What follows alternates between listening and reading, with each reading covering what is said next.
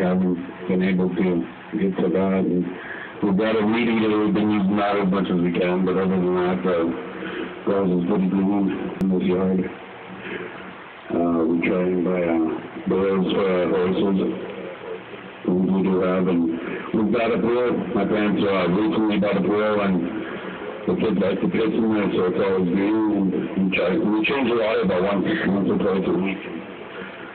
If that ever runs up the water though.